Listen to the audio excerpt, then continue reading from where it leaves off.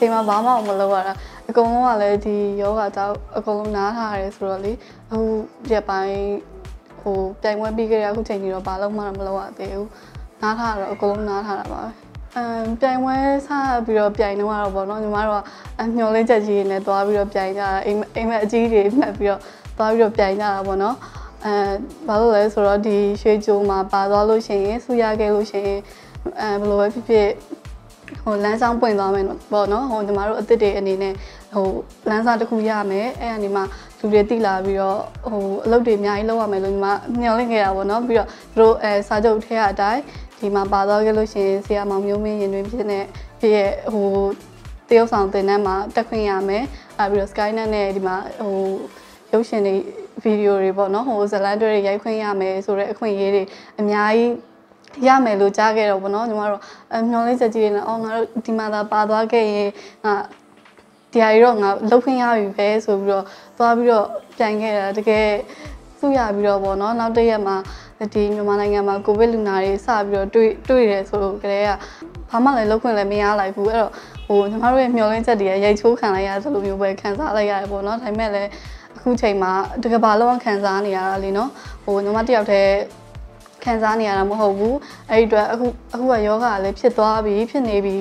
ဖြစ်တဲ့အတွက်ဟိုဘယ်လိုပဲဖြစ်ဖြစ်ဒီနိုင်ငံတော်ကချမှတ်ထားတဲ့အတိုင်းစီစီမင်းစည်းကမ်းတွေအတိုင်းအကုန်လုံးလိုက်နာကြပါညီမကိုယ်တိုင်လည်းလိုက်နာပါတယ်ဟိုညီမတို့ဒီတော်တော်လေးကြာသွားပြီပေါ့နော်ဒီ6လအတွင်းမှာညီမတို့ဘာမှလည်းမလုပ်ရဘူးဒီတိုင်းထိုင်နေရတယ်အဲ့ဒီအတွက်ဟိုဘယ်လိုပဲဖြစ်ဖြစ်အော်တကယ်လို့များပြန်ပြီးတော့အခြေအနေတွေပြန်ကောင်းလာခဲ့ရင်ငါတို့ဒီအလုပ်တွေပြန်ပြီးတော့ဆဆလာခဲ့ရင်ပေါ့နော်ဟို ကိုတက်နိုင်တဲ့ဘက်ကနေပြီးကိုအစွမ်းကုန်ချပြခွင့်ရအောင်လို့ဘယ်လိုပဲဖြစ်ကိုတရုပ်ဆောင်လုံးမှာဆိုတော့ပေါ့နော်ဟိုရုပ်ရှင်တွေကြည့်တယ်ရုပ်ရှင်တွေကြည့်သွားလို့ရှိရင်ဒီစီနီယာအနုပညာရှင်ကြီးတွေပေါ့နော်ဟိုသူတို့ရဲ့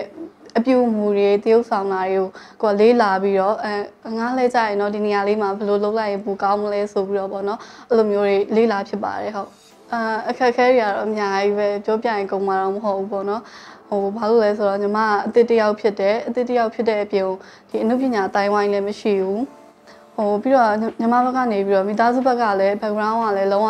ဟိုဘယ်လိုပြောမလဲအဆင်ပြေတဲ့တဲကမဟုတ်ဘူးပေါ့နော်ကိုကလည်းကိုဟိုရုံးကန်နေရတဲ့မိသားစုတဲကဖြစ်တဲ့အတွက်ဟိုသူများတွေထပ်ပို့ပြီးတော့ဟိုစူးစမ်းရတယ်ပေါ့နော်သူများ ဟိုဒီတိုင်းစူးစမ်းလို့ရှိရင်ညီမနှစ်ဆသုံးဆလောက်ပို့ပြီးတော့စူးစမ်းရတယ်ပြီးတော့သူများလည်းညီမဟိုဘယ်ပြောမလဲဟိုစပွန်ဆာတွေပါလည်းယူထားရလည်းမဟုတ်ဘူးရှာနေရလည်းမဟုတ်ဘူးကိုကလည်းကိုစူးစမ်းနေရတာဖြစ်တဲ့အတွက်ဘယ်လိုပြောမလဲဟိုညီမမှရှိတာဆိုလို့ဒီစူးစမ်းမှုတစ်ခုပဲရှိတယ်ပေါ့နော်ညီမ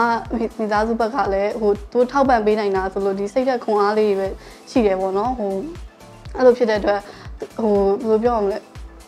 ခက်ခဲတော့အများကြီးပဲဒီပြိုင်ပွဲတုန်းကဆိုရင်လည်း ဘယ်လိုလဲဆိုတော့ဟိုဗုဒ္ဓစနစ်နဲ့သွားတာဖြစ်တယ်ဗုဒ္ဓစနစ်နဲ့သွားတာဖြစ်တဲ့အတွက်ဟိုညီမအတွေ့ထဲမှာပေါ့နော်ဘယ်လိုလဲဆိုတော့ဟိုဒီ popular ပိုဖြစ်တဲ့လူတွေကပေါ့နော်ဟိုဗုဒ္ဓပို့ပြီးတော့ရားကြမယ်ပြီးတော့ဟိုပတ်စံတက်နိုင်တဲ့လူတွေကပို့ပြီးတော့ဟိုဘုံနိုင်ကြမယ်ပေါ့နော်အဲ့လိုမျိုးညီမတွေးခဲ့တာအဲ့အတွက်အမြဲတမ်း pressure နဲ့အော်ငါဒီအောင်လုံနိုင်ပါမလားငါဒီမှာပါပါမလားဆိုတဲ့အတွေးတွေနဲ့ပဲပြန်ခဲ့ရတယ်နောက်ဆုံးတော့ပါသွားတော့လေ ဘယ်လိုပြောရမလဲကိုယ်စူးစမ်းမှုလေးအရာထင်သွားတယ်ပေါ့နော်အခုချိန်မှာတော့ဘာမှတော့မဟုတ်သေးပါဘူးဒါပေမဲ့ဒီနေရာလေးရောက်ဖို့အတွက်ကိုတော့မှညီမဘယ်လောက်ထိစူးစမ်းခဲ့ရလဲရုန်းကန်ခဲ့ရလဲဆိုတော့ကိုယ့်ကိုယ်ပဲသိရလေနော်အဲဒါကြောင့်မလို့အရင်ပြင်မှန်းနေအာရှိရရှင်ဘာလို့လဲဆိုတော့ဟိုကိုကဒီဟာကြီးอ่ะဗောနော်ဒီတိုင်မဲဆဆပြိုင်တော့ဆိုငါမပါတော့ဘူးပဲဖောင်သွားတင်ကြတဲ့က ဟိုဖောင်တာသွားတင်တာတငယ်ချင်းတွေကဝိုင်းပြီးတော့ရှေ့တော့ပြိုင်ကြမယ်ဆိုပြီးအဲ့လိုခေါ်လို့တာသွားပြီးတော့ပြိုင်လိုက်တာပေါ့နော်ဒါပေမဲ့ကိုယ့်ကိုပါမယ်လို့လည်းမယုံကြည်ထားဘူးဘာလို့လဲဆိုတော့ဗုဒ္ဓစနစ်နဲ့ဖြစ်တဲ့အတွက်ဟိုပြောမှဆိုပတ်စံပိုးရှိတဲ့လူက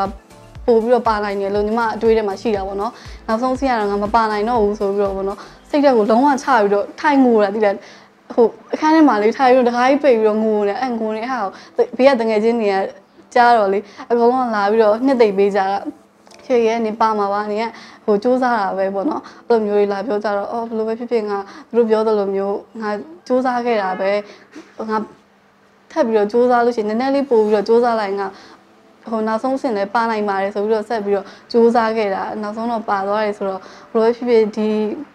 ဖုန်တင်စနစ်ကြီးရလဲဟိုသူတို့မှန်မှန်ကန်ကန်နဲ့ရွေးချယ်ထားရဲဆိုတာညီမယုံကြည်ပါတယ် အာ feeling ကတော့ဟိုအတိုင်းမသိဝမ်းသာတာပေါ့နော်ဘာလို့လဲဆိုတော့ဒီဆဆဖောင်သွားတင်တဲ့ရက်ကဆိုရင်လူတွေကအရမ်းများတယ်လာပြိုင်တဲ့လူတွေကလေထောင်နဲ့ချီပြီးတော့တထောင်ကျော်တယ်ထင်တယ်သိလားအဲတထောင်ကျော်တဲ့တဲကမှဟိုဒီကိုလည်းကြည့်လိုက်ရောနာမည်နာမည်ရထားတဲ့လူတွေလည်းပါတယ်ပေါ့နော်ဒီထဲမှာကျင်လည်နေတဲ့လူတွေအများကြီးပါတဲ့အတွက်ကိုကလုံးဝမပါနိုင်တော့ဘူးလို့ပဲစိတ်ထဲမှာတွေးထားတာဒါပေမဲ့လည်းနောက်ဆုံးဟို ဘယ်လိုဖြစ်ဖြစ်သူတို့ဘက်ကနေပြီးတော့ဒီအစ်စ်လေးတွေကိုပေါ့နော်ဟိုအစ်စ်လေးတွေကိုနေရာပေးတယ်နေရာပေးတဲ့အတွက်အော်ဘယ်လိုဖြစ်ဖြစ်ငါစူးစမ်းရင်တော့ငါပါနိုင်မှာပဲဆိုပြီးတော့စူးစမ်းခဲ့လို့အခုဒီနေရာကိုရောက်ခဲ့တဲ့အတွက်ဘယ်လိုဖြစ်ဖြစ်အတိုင်းမသိဝမ်းသာတဲ့ဟိုပျော်ရွှင်မှုဆိုတာတော့ဘယ်လိုပြောမှမသိဘူးဒါပေမဲ့အခုချိန်မှာတော့ဒီကိုဗစ်ကြောင့်အကုန်လုံးနားလိုက်ရတယ်ဆိုတော့အဲ့ပျော်ရွှင်မှုတွေကဘယ်လိုပဲဖြစ်ဖြစ်ရက်သွားတာပေါ့နော်ဒါပေမဲ့လည်းသူတို့ဒီယောဂတွေပြီးလို့ပြန်စခဲ့လို့ရှိရင် ဘယ်လိုပဲဖြစ်ဖြစ်အကောင်းဆုံးတော့ပြန်ပြီးတော့စူးစမ်းမှာပါညီမဒီအားပေါ့နော်ညီမငယ်လေးကလေးကဟိုရီမန်းထားတဲ့ဒီတရုပ်ဆောင်ဖြစ်ချင်တယ်ဆိုပြီးတော့ဟိုမျောလင်းချက်တစ်ခုပဲရှိရဲအဲအဲ့ဒီစိတ်ကူးနဲ့အဲ့ဒီမျောလင်းချက်တစ်ခုတည်းနဲ့ပဲစူးစမ်းနေတာဖြစ်တဲ့အတွက်ဘယ်လိုပဲဖြစ်ညီမဟိုဒီနေရာပေးခဲ့လို့ညီမအရေးချင်းတွေကိုထုတ်ပြခွင့်ရလို့ညီမနေရာတနေရာမှာရက်တည်နိုင်မယ်ဆိုရင်တော့အဲ့အဲ့ဒီနေရာကိုညီမကတော့အကောင်းဆုံး ထိန်းထားမယ်ထိန်းထားနိုင်အောင်လို့လည်းညီမစူးစမ်းသွားပါမယ်ဟုတ်